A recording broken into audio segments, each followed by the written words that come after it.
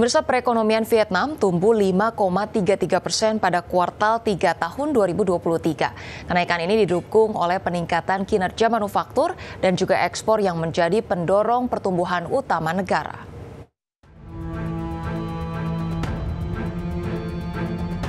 Perekonomian terus tumbuh selama dua kuartal berturut-turut didukung oleh peningkatan kinerja manufaktur dan ekspor yang menjadi pendorong pertumbuhan utama negara.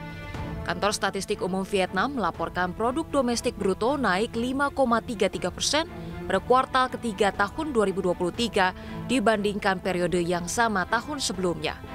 Pertumbuhan ini lebih tinggi jika dibandingkan median estimasi dalam survei Bloomberg yang mencapai 5 persen dan revisi ekspansi PDB 4,05 persen secara year on year pada kuartal sebelumnya.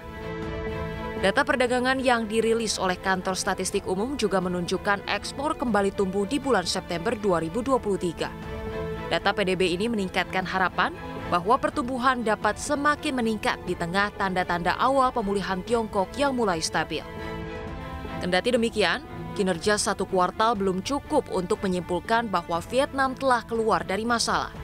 S&P Global Ratings memperkirakan pemulihan penuh hanya akan terjadi ketika permintaan global meningkat dan ketika negara secara bertahap menyelesaikan tantangan-tantangan domestiknya.